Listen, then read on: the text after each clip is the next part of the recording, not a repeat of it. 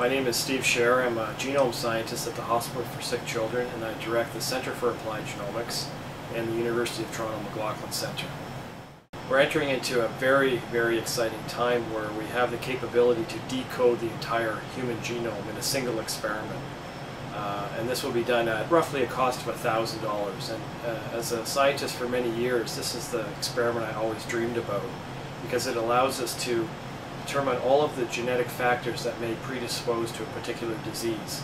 Uh, and with that information, we can tailor diagnostics and treatments to help patients and their families um, in a pre preemptive way to avert having these particular diseases. So the disorder that we study in my group is called autism spectrum disorder. And we know that autism has a significant genetic component. We think that in fact 90% or so of individuals that have autism um, abnormalities in certain genes that they either inherit or uh, collect changes in throughout their lifetime.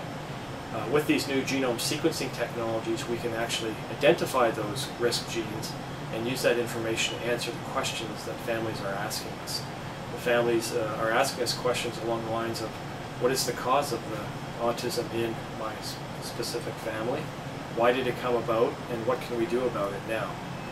So over the last five years or so, using genome scanning technologies, we've been able to identify the cause of about 20% or so of, um, of the autism in families that we've studied.